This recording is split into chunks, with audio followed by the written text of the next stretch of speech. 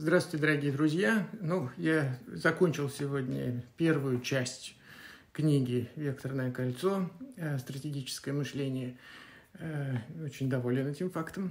Э, получилось, мне кажется, неплохо. И у меня сейчас время для того, чтобы я ответил на ваши вопросы. Их пришло очень много. Ну и после этого опять вернусь к работе. Что ж, сейчас будем отвечать на вопросы. Как переучить свой мозг от абьюзерского отношения со стороны мужчин, так и тянет к мудакам. Ну что, вопрос э, с подвохом, потому что когда э, женщину тянет к мужчинам, которые э, способны вести себя как-то некрасиво, агрессивно и так далее, это говорит о наличии каких-то психологических комплексов, э, которые таким образом отыгрываются. И здесь нужно разобраться, что в вас, вас тянет.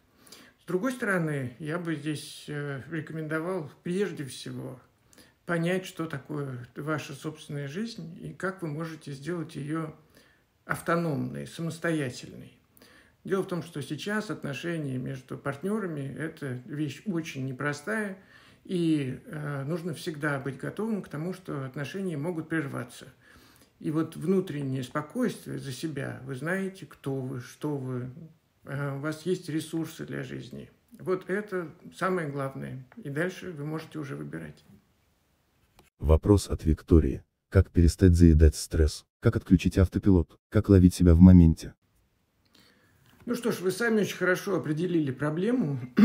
Э, стресс – это такая вещь, которая изменяет состояние внутренних органов, и когда мы заедаем стресс, мы по большому счету Э, снижаем активность вот симпатического отдела вегетативной нервной системы, что позволяет нам э, действительно почувствовать себя легче, лучше. То есть, по сути, делает такой антидепрессант. То есть вы э, набиваете желудок, к нему оттекает кровь, она оттекает от сердца, от головы, от мышц, вот, и вы чувствуете себя более спокойным. Но вы ответили на свой собственный вопрос.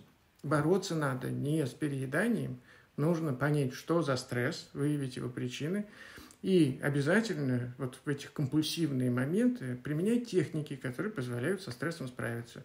Для вас рекомендую курс «Шаг за шагом». Скоро в рамках открытых дверей сможете протестировать. Вопрос от Мэри.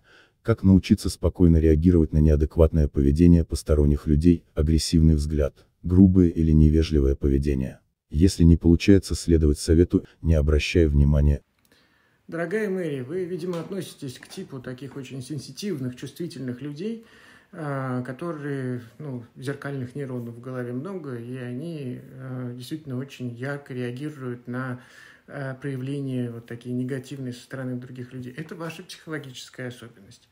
Ну, как с этим бороться? Значит, э, прежде всего, это такая э, внутренняя позиция принятия. Э, наше раздражение в основе своей это требование. Мы ожидаем от других людей, и, наверное, законно, что они должны быть вежливыми, культурными там, и так далее. Но, к сожалению, люди такие, какие они есть. Э, и, ну, надо их принять. Ну, возлюбить ближнего, понимаете, милого и прекрасного, это ну, много ума не надо. А возлюбить хама – это, в общем, э, духовный, так сказать, труд. Вам его и рекомендую. Вопрос от Нади. Могу ли я сама себе стать психотерапевтом? Дорогая Надин, ну, я бы не рекомендовал. Значит, э, дело в том, что психотерапевт – это э, действительно серьезная профессия, сложная, она требует э, большого образования, она требует понимания самых разных психических расстройств и так далее. Медицинского образования психотерапевт на самом деле должен быть.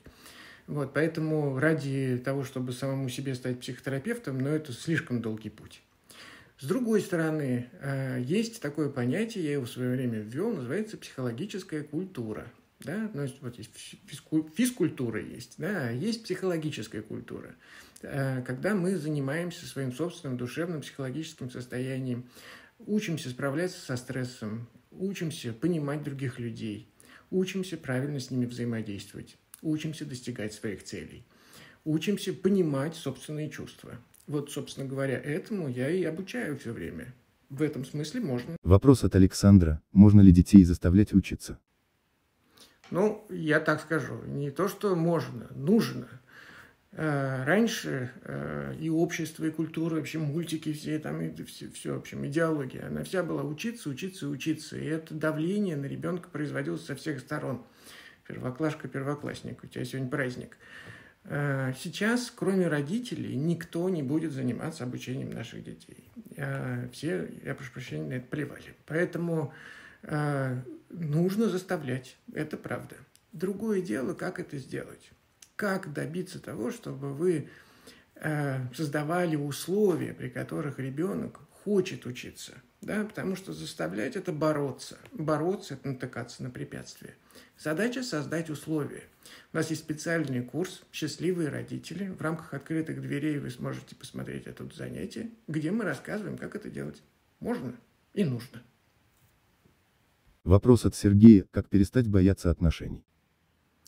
Хороший вопрос от Сергея. Действительно, сейчас э, очень многие переживают из-за того, вступать ли в отношения, заводить ли отношения, быть ли в отношениях там, и так далее.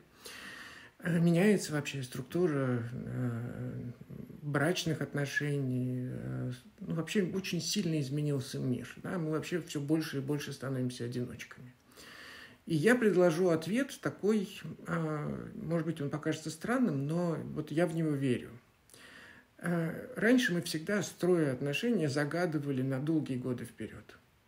Я предлагаю сейчас строить отношения, исходя из того, что вот мы здесь, сейчас, и мы делаем эти отношения. Мы делаем друг другу хорошо. Мы радуем друг друга. Мы вместе радуемся. И вот такой подход и здесь, сейчас, куда-то туда в будущее, он не пугает.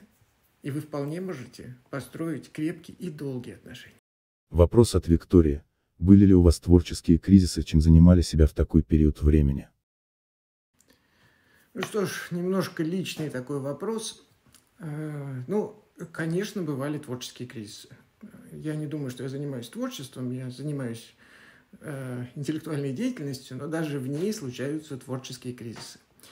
Э, и связано это, как правило, с тем, что ты подходишь, исчерпал, по сути дела, тему, которую ты перед этим разрабатывал.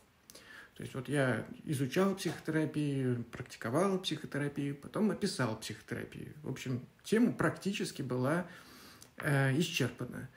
И дальше, собственно говоря, нужно было искать новые э, темы. И я что в этот момент делаю? Я читаю много-много книг в поисках э, какой-то идеи, которая заставит меня удивиться и начать про это думать. И постепенно наворачиваешь опять практику, и получается новая интересная тема.